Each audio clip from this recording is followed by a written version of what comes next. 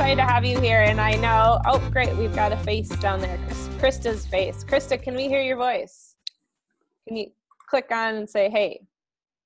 The microphone in the bottom left corner of your screen. Hey. Hello. Hey, great.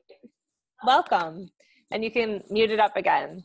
Um, so we're in our hopeful world. We are hoping that um, we actually are able to have the, a smaller group like this for these meetings because although maybe you're like oh no i don't want my face. It's late at night. It's the end of the day. I really do think that this makes us feel more like a community of people that are hanging out and um, informally talking about something that's important. So we want to welcome you the three folks. Well i guess it's the three on the top of my screen it may be different depending on the order, but wave if you're Jenna, Kristen, DeVarty, and I. Um, want to welcome you all to the very first Teach Climate Network Book Club meeting. Um, and we're super excited to be kicking off this this year after I would say many years of different people asking for this. Um, and so um, we're hopeful that you get something out of this and um, and get questions answered and maybe come back next month or maybe you're busy next month and come back another. We're going to be here and and working on this all year. Um, i think to start off uh, we'd like to just do quick introductions and since um, there's a f- so few of us maybe we can all um, each of us introduce ourselves and we'll start with Jenna in the upper left hand corner. and, and and move on. And so when it's your turn when we say your name if you could unmute your microphone, but otherwise remain muted. Hello, everyone. Um, I'm Jenna Tots, not Megan Van Lowe, uh, and I'm the education coordinator here at Climate Generation. So I work with our K-12 um, program and work with teachers and students. Um, I'm next in my window. So um, I'm Kristen Poppleton. I'm the Director of Education at Climate Generation, and we'll tell you a little bit more about us in a second. But I'm, like I said, really excited to have you all here today. Hi, I am DeVarty. I am a K-16 STEM Education Fellow at the University of Nebraska, Lincoln. And I am very excited to have this group and start reading for fun and for the topic that I really like to read about. So we'll talk to you guys more in a bit. Great. Katie?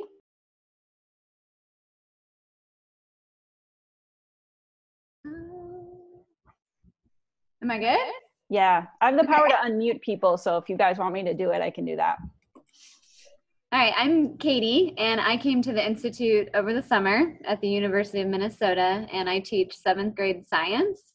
And I have kids that are very interested in the hurricanes that we're receiving. So they're always pumping me for information, but I am not to my ecology unit yet. So excited to see what we're going to learn.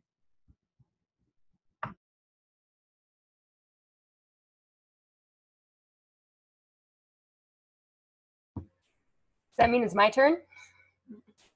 Um, I'm Sarah Niemeyer. I teach um, seventh and eighth grade science at Wabasha Kellogg, and then I'm teaching my first high school course this year, and it's actually using three of the curriculum guides through the institute. So um, some Will Steger stuff that I'm trying this semester, and so far going really well, and liking what I'm teaching, and the kids are liking it. So yeah. Great. Now. So my name is Cal Manis. I am a recently retired high school science teacher. Um, I was the science department. I work in rural communities up in northeastern Arizona, and I now run a, a research grant through Arizona State University studying rural STEM identity. And I have apparently fallen into being the STEM go-to person in a lot of these outlying communities.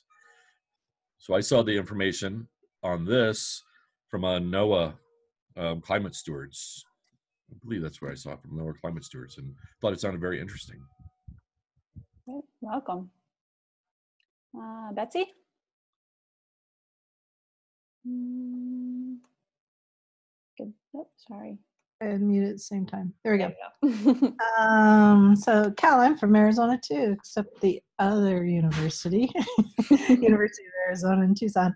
And um, yeah, I teach teachers. So we run um, professional development for teachers through Arizona Project WET, and um, we are doing a big environmental literacy grant with teachers. So I'm hoping to get some material to share with them, and then, as Devarty said, read about stuff I like to read about. Uh, plus, I did Climate Gen Education Ambassadors last year. Thank you. Krista? Aloha. Uh, my name's- Aloha. My name's Krista. I live in Hawaii. It's two o'clock in the afternoon for me. Um, I saw this from uh, uh, the NOAA Climate Stewards webinar on Monday. I'm the Sustainability Curriculum Coordinator for the University of Hawaii 10 campus system, and I'm an English professor. So in spring, I'm teaching a environmental literature course using climate fiction. I'm like a maniacal reader of cli-fi and super interested in these types of conversations. Oh, and I also have a middle school child, so I'm really interested in in what like you seventh, sixth, seventh, eighth grade teachers teach as well. Great, thank you.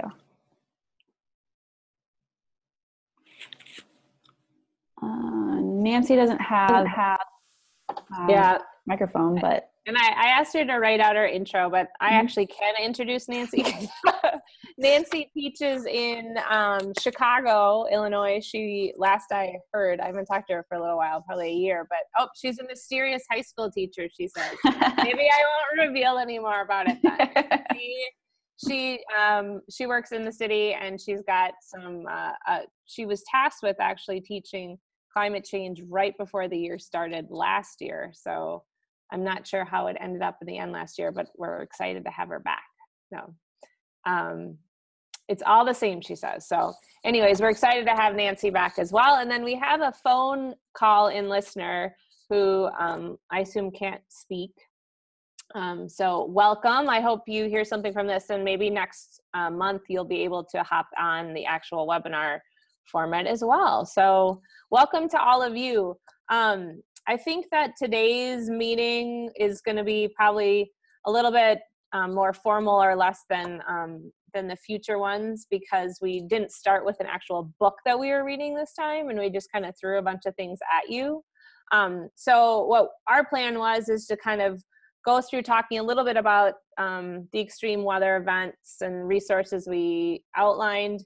Um, and then we have a couple books that we have, we had a couple suggestions from other folks, but that we have a poll set up for to um, ask you all to vote on, on maybe what, what to read next month. And I will say that um, our first selections are probably more in the um, K, they're not as much in the adult range they're more in the ya range but there are a lot of great adult ones too and i'm we're open to anything this is um we're hoping this is like fun. This isn't really super formal per se but you all bring your own ideas and questions and suggestions um when when you have time to meet with us and we'll see how it pans out throughout the year how many people are able to join us. So with that i'm going to share my screen if i can remember how to do it.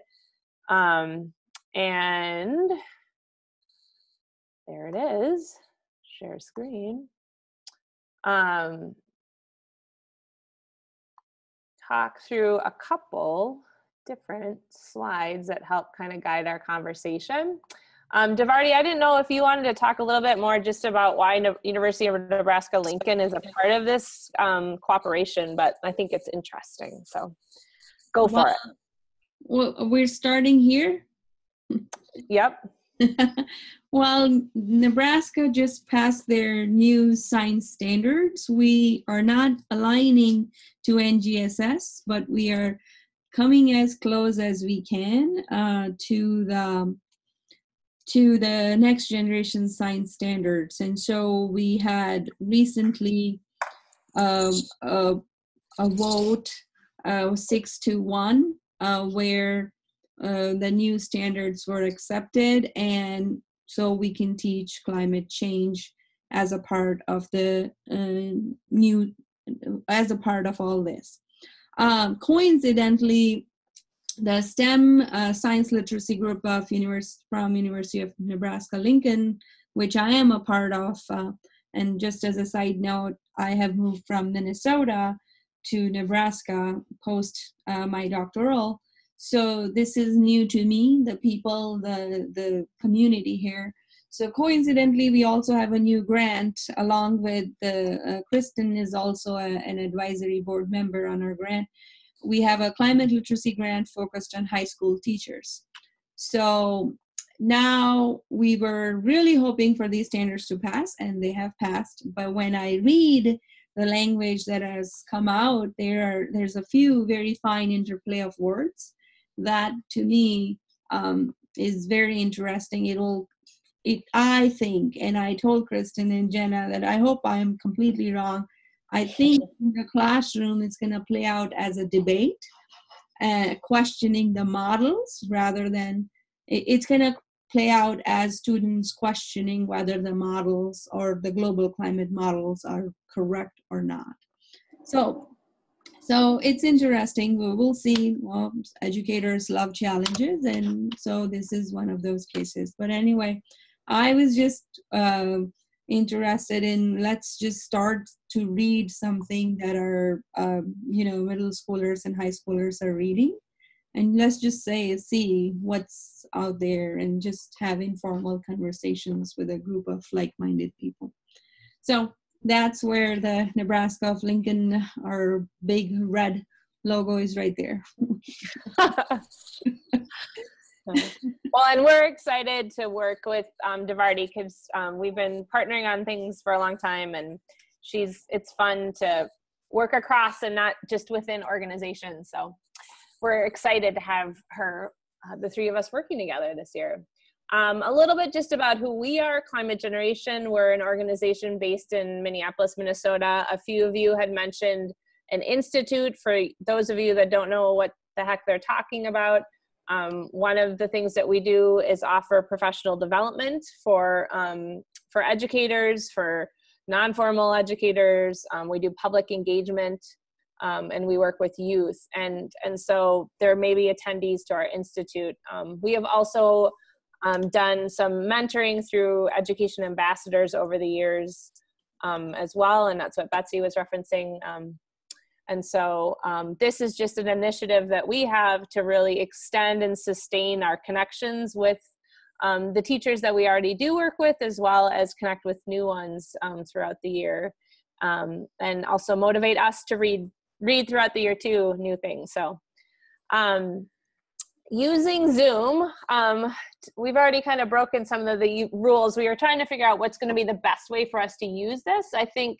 um, ideally our group will always be um, not huge. Um, we have you know a number of people signed up but we realize people will come and go throughout throughout the year. Um, but just being respectful and um, un or you know raising your hand at this point might be fine if you're going to unmute but we're a small group so i don't think i hope we have to actually institute rules because there's so many people on i guess but i, I prefer it smaller anyways. Um, guidelines of this group first and foremost we established this group for you. So what ideas do you have? What questions do you have? What feedback do you have? Um, we're trying to create a network here of, of people that can support each other and if you have like a burning question um, about something you're working on where you're teaching um, send it to us before the webinar or if we're on the webinar ask it. And and we have at this point just today 10 people here that might have some ideas and help for you. Um, feel no guilt. That's rule number two. Um, you don't have to prepare to come but if you do come please participate. So um, it's okay if you don't read it, but you're still interested in hearing what people thought of a book. If that's what's going to be useful to you, great. Um, but please be um, plan to participate in some way. Um, of course, be respectful of each other's ideas, opinions, and also their time. Um, try not to spend a long, long time on a comment. Be succinct as possible. Um, we'd love for you to spread the word, invite your colleagues to join us. Um, we're going to be trying to be consistently meeting every third Wednesday unless it falls on a holiday or something. Um, and we are asking, and Jenna will bring this up at the end, um, for volunteer bloggers each month. One person who is interested in reflecting on the book that we read and maybe how you used it or what you thought of it. And then we'll be um, sharing that um, in our um, on our website we'll post it and we'll elevate it kind of share it through social media and stuff too. So it's an opportunity to be famous if if you're interested famous in our little tiny world. Um, so with that uh, we asked you a little bit to introduce yourself but um, we had a couple questions. Um, the first thing we wanted to ask was just for you to in the chat window if you could share one word that describes why you came here today. I know it's hard, but just one.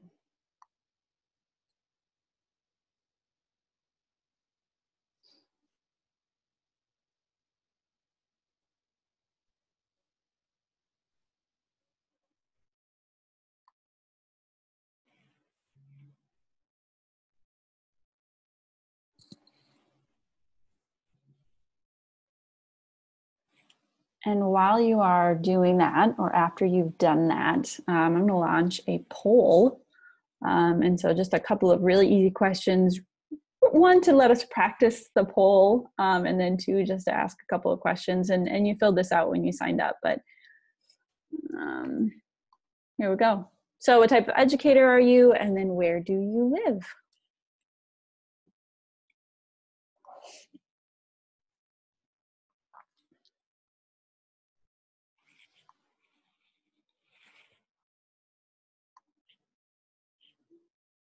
Is the poll still up there? Mm-hmm. Or is mm-hmm. it missing? Okay. There's a note at the bottom that says host and panelists can't vote. Mine. Oh, that's unfortunate. Okay, there's a, a note when we make people panelists, they can't vote in polls. All right, you guys just helped us with the first one. Then and you the poll. oh, geez, we have to figure this out. This is our Zoom, our Zoom research our hours of research did not bring in that particular.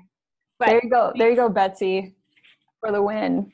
Yeah, for the win, Betsy. What type of educator and what region are you from? We took those regions yeah. from the National Climate Assessment Report.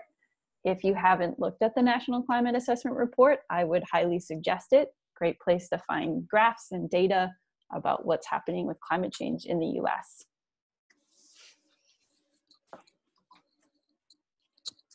Let me know when everyone's done because it's in that place now where I can't see anything because I.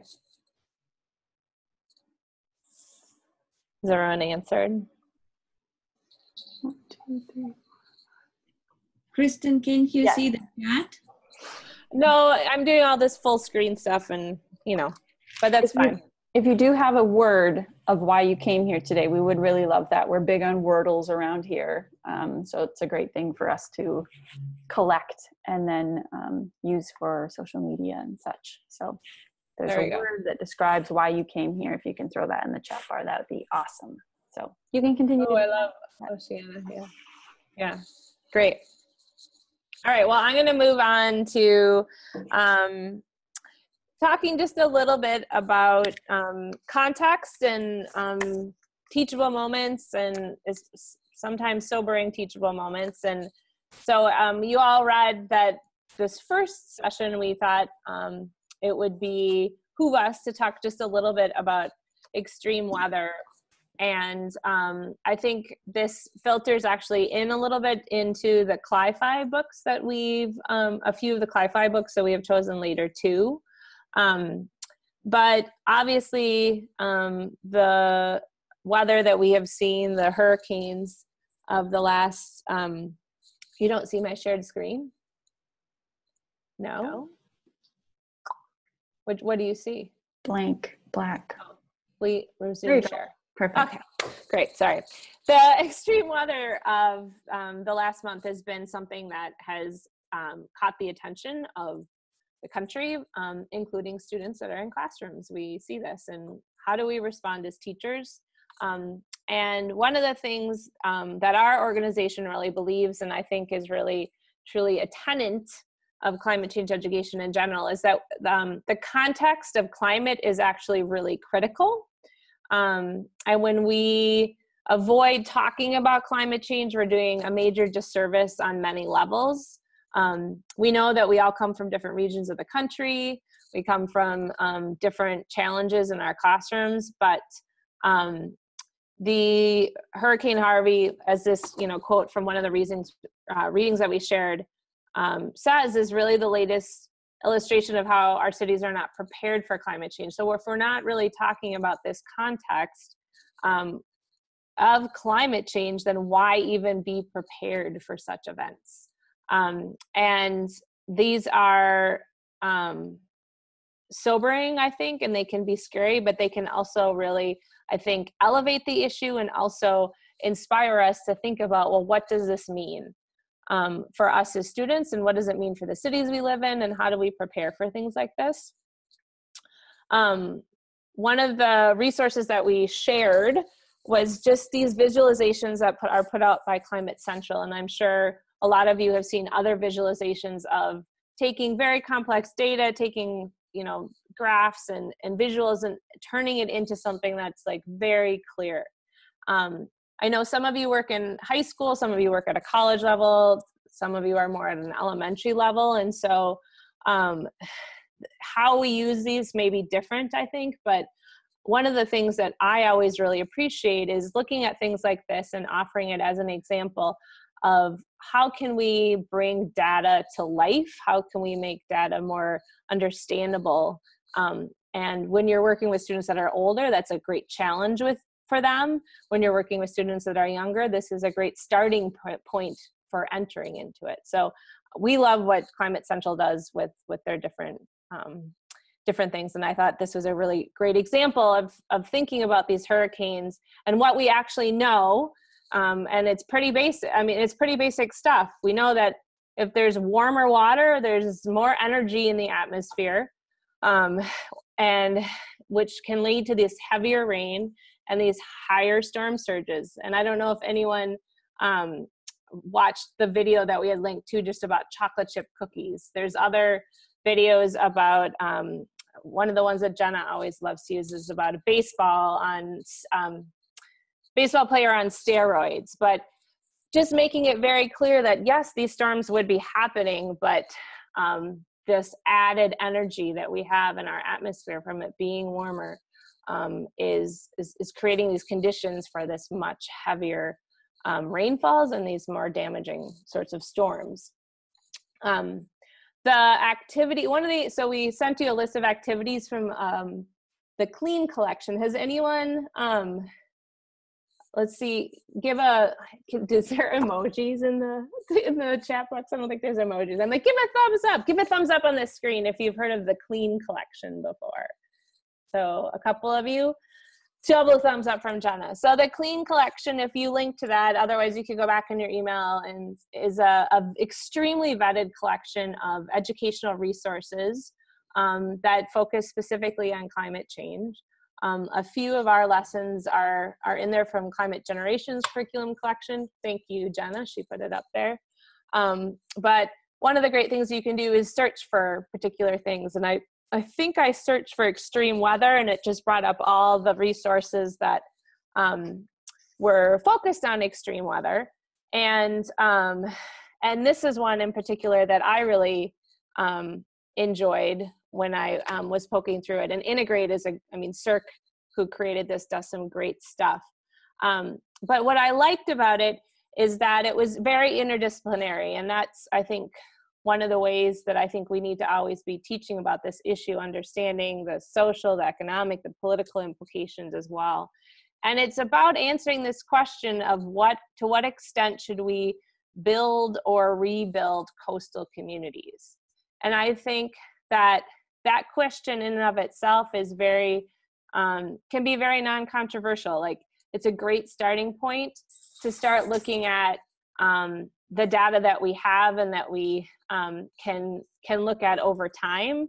And the activity connects you with some of that data. And so you have some great worksheets if you like worksheets Um, but you kind of build through um, developing a claim, develop, gathering the evidence, and, and doing some reasoning for those of you that are using CER in your classroom um, to really think about what does this look like and and is there a need to actually rebuild coastal communities and then and what should we do about it? So it's one of the ones that i thought was great because it gets more into this more um, looking at data but then doing something with it and, and thinking about what we can do about it and being constructive so that was one of the activities that i pulled out from it um, at this point i wanted to ask if anyone else had looked at some of them, um, the readings that we said, and what was your favorite one and, and why? Um, or was there an activity that you had kind of looked at and said, ooh, this could work in my classroom?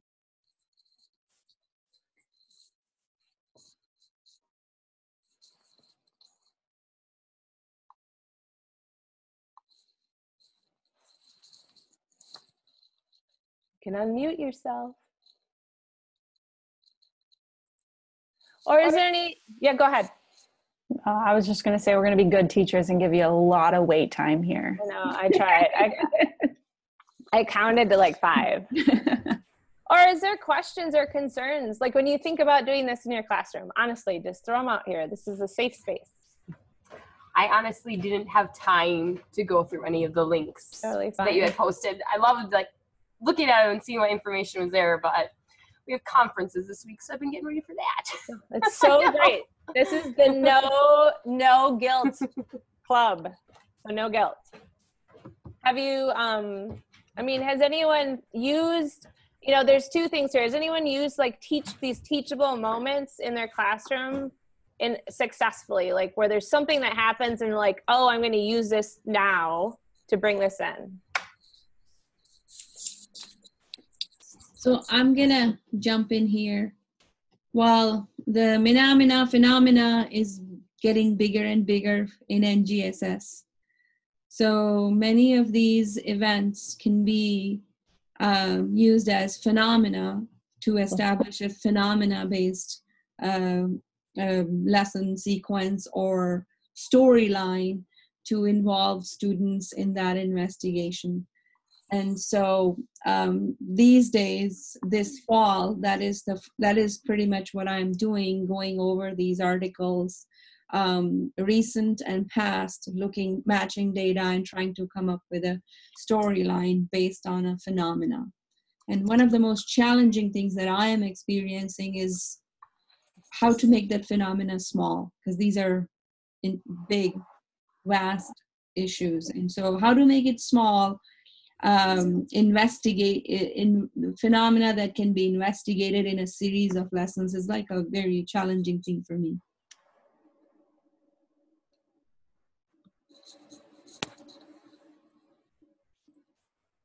I agree. I mean, that is like breaking these into bite sized pieces is part of the challenge. Will you share what you learned? Will you tell us all the things you learned? Well that's why i joined this community and and now we have a safe space to to share our experiences. So as i go with it i will and i will actually brainstorm with you guys like okay so this is what i think. And i have you guys to to who are all the way from ic elementary to high school. So i think i am really happy with the group we have. Mm-hmm. So yes i will share. Awesome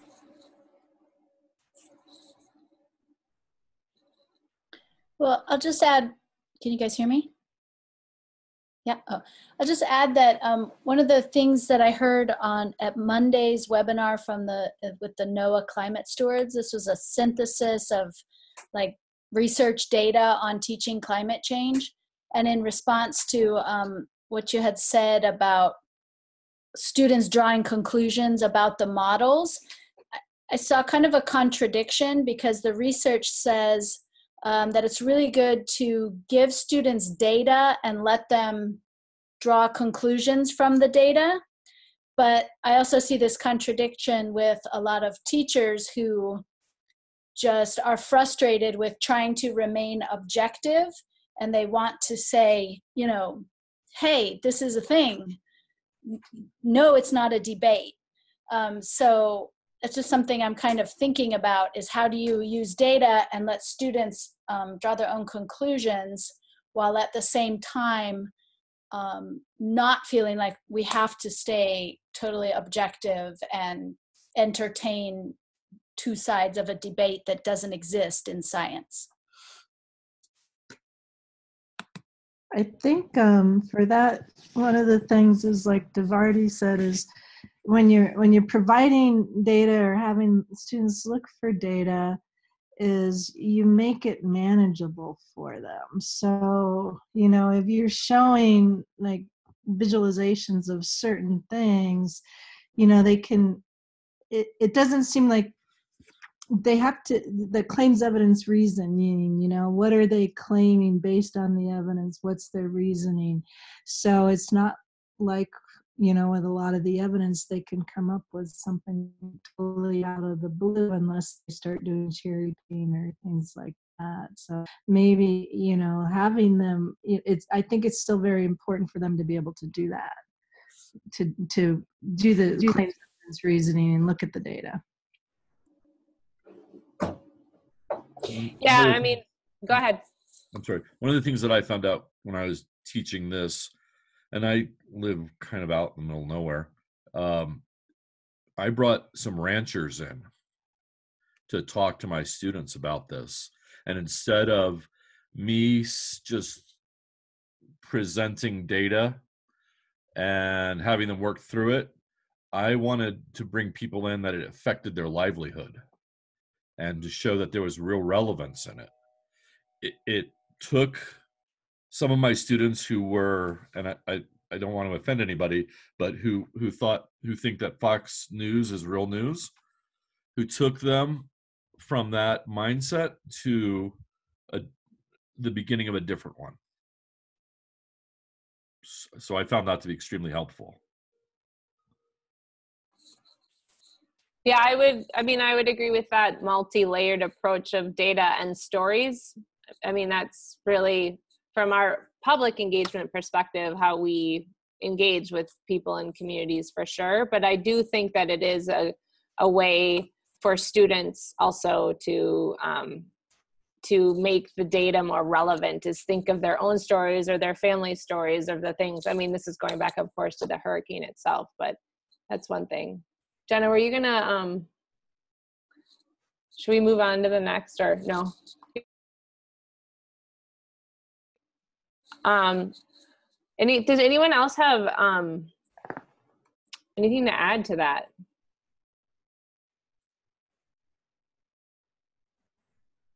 I was going to add something like one of our teachers that we are working with right now, um, his kids do a lot with social justice. And so he he says, you know, he, he brought up the whole idea of environmental racism, which I'd never heard before. But he talked about his students, you know, from the lower socioeconomic group are really experiencing climate change.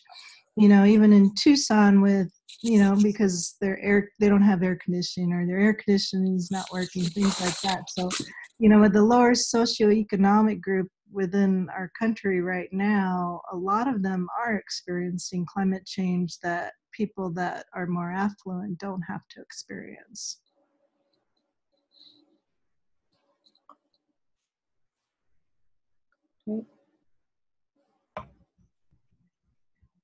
I was just going to say that I think when I plan on pulling this unit in with my ecology standards, that I want my students to interview their elders, grandparents, or guardians just to talk about.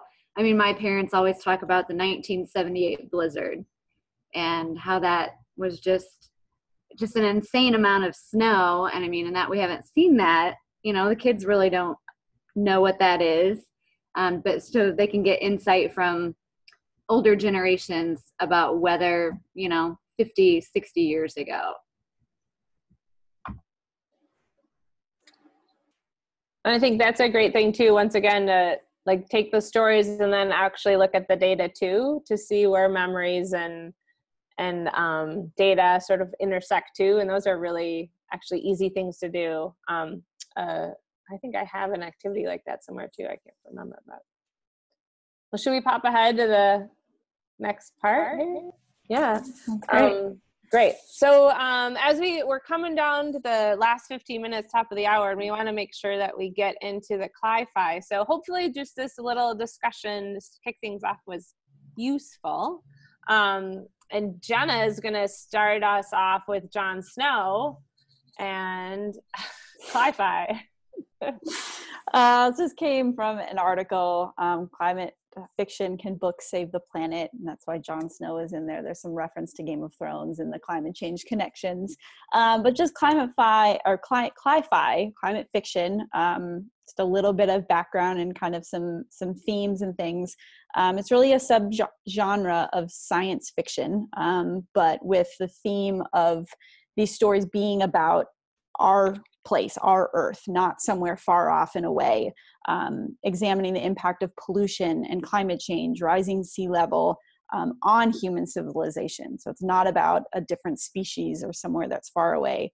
And it's really making environmental issues uh, more accessible to young readers. Um, but there's also, it's not just young adult uh, fiction, climate fiction, there's, there's adult fiction as well.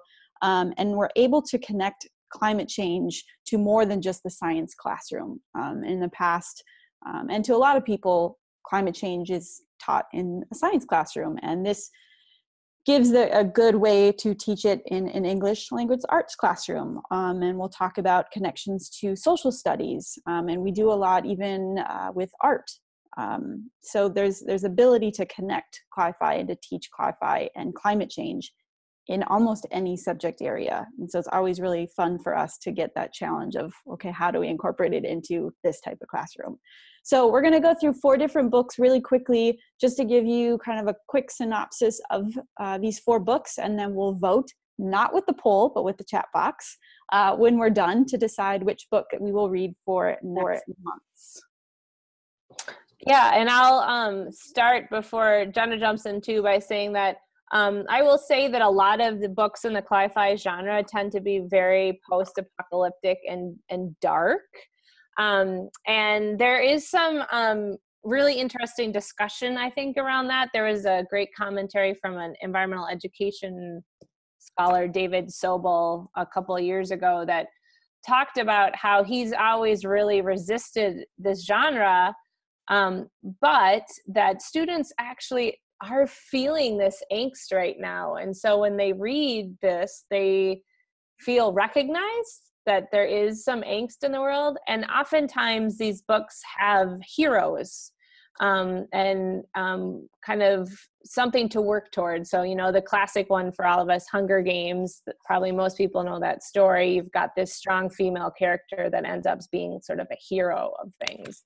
And so, although I think a lot of us maybe feel like a lot of it is dark. We have some more hopeful ones in this one we've selected. Um, and some of them aren't traditional cli-fi per se too. Some of them are nonfiction related. But um, I think this darkness is something that really resonates with students um, and how they are actually feeling. I know I feel that way a little bit of darkness too sometimes. So um, it's it, that would be I think something really interesting to talk about as a group too. How uh, we feel about these reading these with students. So, anyways, Jenna. All right, Exodus uh, is the first one. Uh, we put page numbers on these um, just for you know for you to see how long these are, um, but definitely a young, young adult fiction book um, set about 100 years, I guess a little less than 100 years from now. Um, this was written uh, just for your reference in 2002 but when i read this um, this past year it really felt like it could have been written this year. Um, there was a lot of themes that connected to how things were progressing politically in this country um, but then also obviously some climate change themes in here as well. So it tells the story um, of the island of wing um, which is about to be flooded by rising seas um, and really sea level rise around the world has uh, increased dramatically, I think, beyond anything that we've really talked about. So it would be a, a great opportunity too to talk um, kind of about the science and how scientifically correct some of the information is in this book, um, but is um, again a strong female lead. um, 15 year olds, so at middle school, early high school age. Um, you know, students are really able to relate to this, um, and really about the survival of of Mara and her her family and her community on this island, how they're going to be able to survive in this um, completely changing world. So we read it this year. We worked with a school out in Washington, D.C. to completely change their sixth grade humanities curriculum to be climate change centric. And this was one of the books that they're adding to their curriculum. So, Exodus is one option for us. Second one um, I'll talk about is Same Sun Here.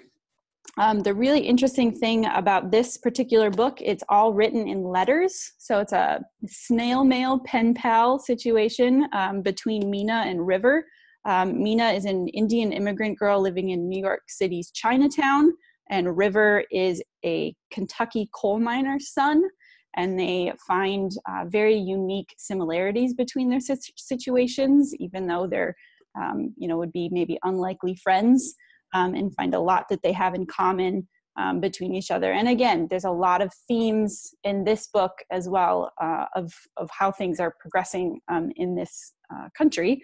And one thing that we found really interesting in this book, um, again, this was another book that, that this school out in Washington, D.C. is adding to their curriculum, um, is how uh, students and, and kids aren't are able to ask the questions of each other that maybe adults can't ask. Um, you know, they ask cultural related questions just because they're curious about things. So it's you're able to really talk about a lot of cultural differences um, between students um, in a very respectful um, and, an open way. So the main goal, the main theme in here is is talking about mountaintop removal, um, uh, which is uh, a big thing in the East, in Kentucky, in that area, and that was one of the reasons why this school in, in Washington D.C. chose this book um, because that's uh, something that's happening in Maryland as well. Um, so again, uh, all written in letters, which is just a really fun way to read a book. All right, I'm in charge of the next two, and I feel completely outdone by Jenna's book book club descriptions. But um, Shipbreaker, um, this is another book um, that I think is a really interesting um, example of how you read some of these books that seem so out there and futuristic, and then you learn how actually things like this are happening like right now. And so in this particular case, this is again in the future. Um, oil tankers are being broken down for parts in a very flooded world that's been recently beach, reached by a, a hurricane. Um, and um, and you know a part of the the the people that sort of remain are are held in more of a slave like way um, and then there's the rich and the wealthy that are um, surviving thriving i would say in, in a different part um, and this particular profession you i read this and i was like whoa this is gross like what is this shipbreaker idea? What what like it just seems so foreign to me but this is actually happening off the coast of africa. Um, this is an actual thing shipbreakers and um, and so there's once again grounded in a reality where you um, you actually learn about something that that's happening in the world and also kind of identify with what you might call the other, um, learning about someone that's totally different. So that's Shipbreaker, and Jenna had 326 pages. Um, all of these so far are available in paperback also. Um, and then finally, this is not Cli-Fi. This is our um, nonfiction hopeful book, which um, this just came out three or four months ago um, from Paul Hawken. Um, and I don't know, Jen, if you want to open, you have it with you. Open it up to a page. So it's a be- it's a beautiful book to start out.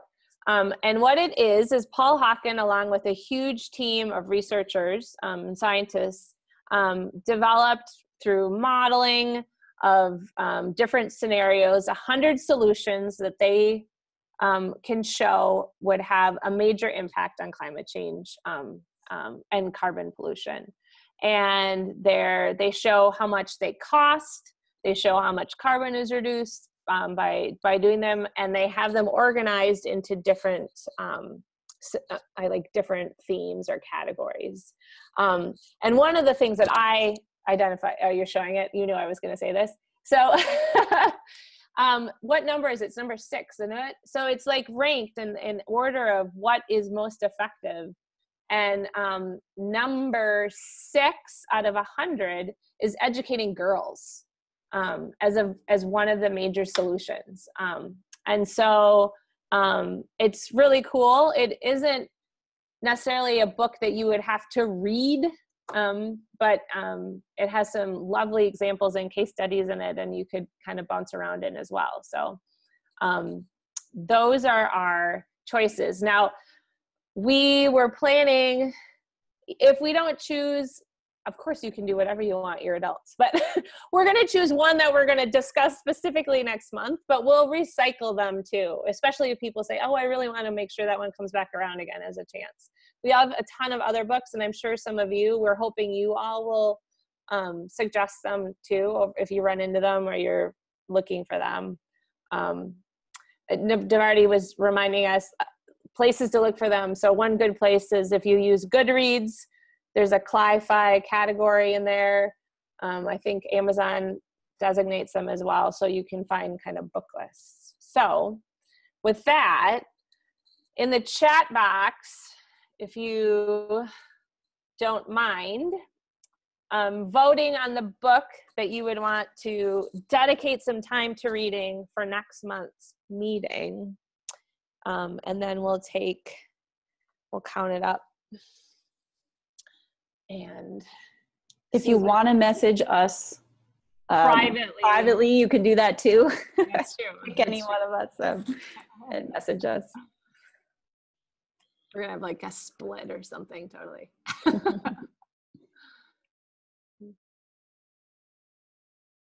Of course one of each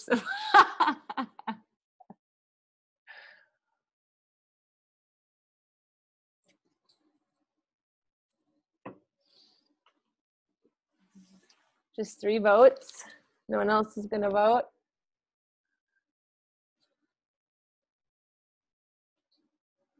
So we have two for Exodus if we take one of them. Three. We got another one coming in.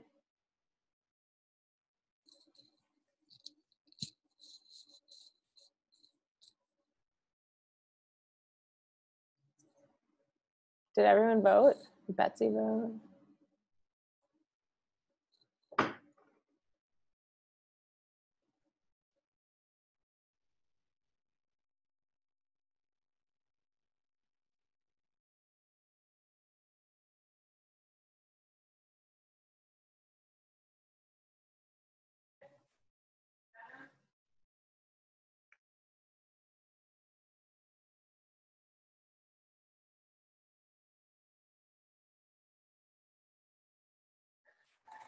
Looks like Kristen went offline. We lost her. Oh, There you are. There you are. Yay, great. Well, great. So it's five minutes to recognizing the time is ahead. Um, does anyone, do you want to introduce this end bit, um, Jenna, before we head off into the great sunset? Yeah. Um, so this volunteer opportunity to write a reflection blog for us. Um, so really, we're looking at what did you think of the book, and then how will you use it with your students um, or teachers that you work with, um, and questions to answer. For pretty straightforward. Um, how did it work as a story? How did it work scientifically? Um, that's a big piece with Exodus. Uh, how would you use it with your students? And then educational or scientific resource, resources you use to integrate. So are there additional articles you compare with it or graphs that you can use um, kind of supplementally to kind of stretch this out and really make this um, not only a novel but you know a, a scientific or social science lesson? So if you're interested you can message me um, and let me know um, right now, or you want to think about it, um, I'll email out some resources and things that we talked about today, and you can reply back to that if you're interested in in doing that. Yep. Does anyone have, so feel free to message. Does anyone have any questions or comments or anything at this point that they want to um, share before we sign off for the evening?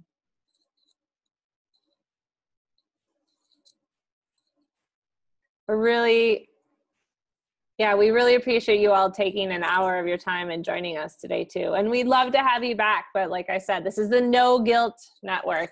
But we'd love to have you come back if you can't make it next month because Exodus is going to be awesome discussion. You do not want to miss it. And we'll be um, sending this out to all the folks that signed up. We had probably 40 folks sign up so far for the network. And we, as this is actually 25%, which is higher than I usually would expect to show up. but great. And we will be posting the recordings from these. So yeah. Cool. Okay. Well, everyone have a great evening and enjoy reading Exodus, and we'll be in touch. Thanks, everyone. Have a good night. Have a good night. Thank you. Thank you.